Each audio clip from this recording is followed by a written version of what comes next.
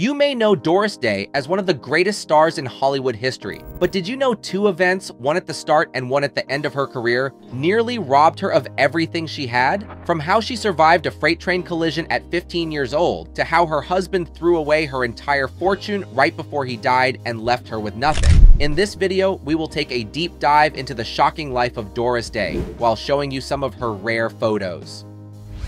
On April 3, 1922, Doris Mary Kappelhoff was born to German-American parents Alma Sophia Welz and William Joseph Kappelhoff in Cincinnati, Ohio. She was named after the Hollywood star Doris Margaret Kenyon. Right from birth, it seems she was fated to become a huge Hollywood star as well but at the time, little Doris actually had her eye on dance and music. Her father was a music teacher and choir master. Because of this, Doris learned the fundamentals of music at an early age. Unfortunately, he went and had an extramarital affair. As a result, her parents separated when she was just 10 years old. Despite entering her teen years in a broken home, Doris continued to work hard at dancing, so much so that she formed a dance duo with her friend Jerry Doherty. The two of them were so good that they often performed in nationwide competitions, right up until Doris wound up in that frightening and awful car accident. Even though the outcome could have been way worse, Doris managed to crawl away from the accident with only a broken leg. She still had her life, but her career as a dancer was essentially over. For many people, this would have been the end of their showbiz aspirations. But for Doris, this was the start of a new, exciting chapter. While waiting for her leg to recover fully, the bedridden Doris sang along with the radio. This led her to discover her talent for singing. The fundamentals of music, which her father had taught her, came into play here. As such, even though Doris could not be a dancer anymore, she for sure had the talent to be a professional singer. Doris listened to a wide variety of artists on the radio, including Duke Ellington, Benny Goodman, Glenn Miller, and Tommy Dorsey. However, the artist that stood out to her the most was Ella Fitzgerald. Doris was so fascinated by Ella's voice that she tried to copy the casual and clean way that she sang. When Doris's mother overheard her doing this, she realized the girl's talent and sought a professional singing teacher for her.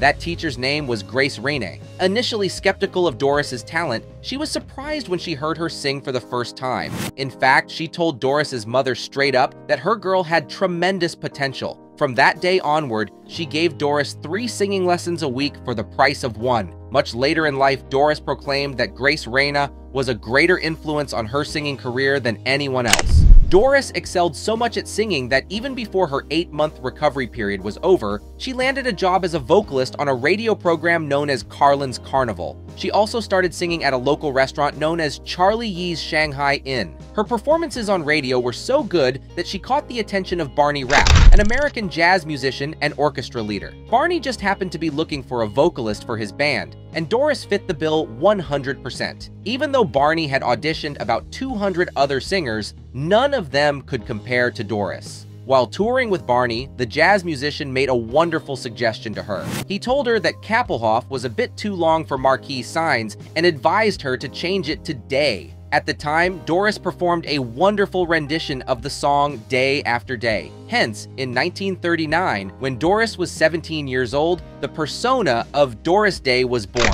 This catchy name would play no small part in her success.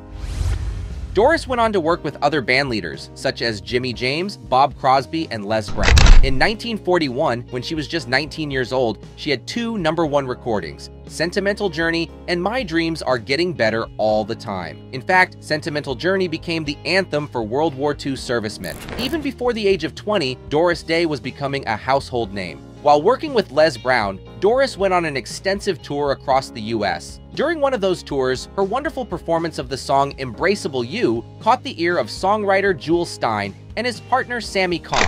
They simply had to have her for their upcoming musical movie Romance on the High Seas. It was to be directed by Hollywood legend Michael Curtiz, who also directed Casablanca. Day auditioned for Curtiz, after which he cast her for the role. However, she was shocked to get the part as she hadn't acted before. An anxious Doris relayed this fact to Curtiz, who appreciated her so much for her honesty. While other aspiring actors usually lied to get roles, Doris was telling the truth to get out of one. Michael calmed her down and assured her that she would do great. Also, her blonde hair and freckled face gave her the image of a true American sweetheart.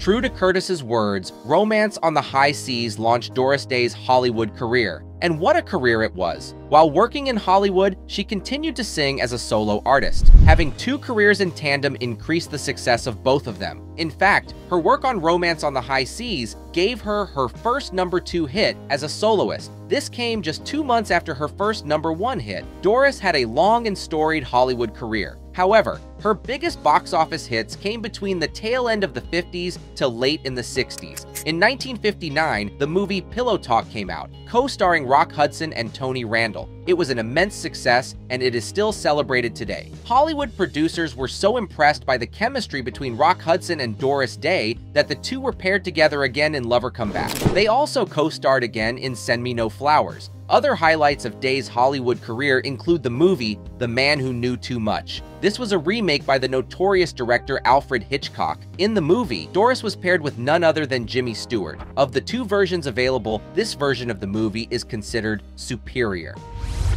In her illustrious seven-decade career, Day's favorite movie she starred in is Calamity Jane. Doris related to the character because she too was a tomboy growing up. A song from the film Secret Love won the Academy Award for Best Original Song. This also marked Doris's fourth number one hit single in the United States. While Doris was always smart with her career choices, she wasn't always smart with her personal choices, particularly her choice of husbands. Out of her four marriages, the first and the third threatened to ruin her. The first was to trombonist Al Jorden, whom she met while working with Barney Rapp's band and the third was to film producer Martin Melcher. Jorden was a violent schizophrenic, but Doris didn't know at the time. When she became pregnant, he tried to force a miscarriage by beating her severely. The baby was born, and he grew to hate his father so much that he adopted the name of Doris's third husband. In 1967, when their son was 25 years old, Jorden committed suicide. Doris's third husband, Martin Melcher, was with her for 17 years.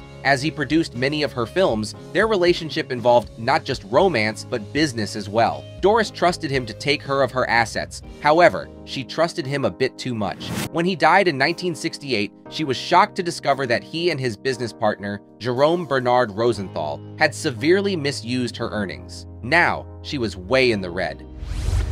The death of Melcher also revealed that Doris had unknowingly been signed to some TV contracts. As TV was considered inferior to the movies at the time, Doris found this embarrassing. Even so, she honored her contract, but not before she sued Rosenthal and gained a multi-million dollar judgment. Rosenthal tried to countersue. However, this was to no avail. In the years since these scandals, Doris has still maintained that her third husband, Martin Melcher, was innocent of any wrongdoing.